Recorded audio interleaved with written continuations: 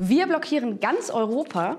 Alle reden gerade über die EU-Lieferkettenrichtlinie. Die ist ja auch gut gemeint. Wer sich aber mit den Details befasst, merkt schnell, gut gemeint ist nicht immer auch gut gemacht. Denn bei der Umsetzung droht ein Kollateralschaden für die Menschenrechte. Wieso das so ist, erkläre ich euch jetzt bei Free von der Fraktion der Freien Demokraten. Straight out of Bundestag.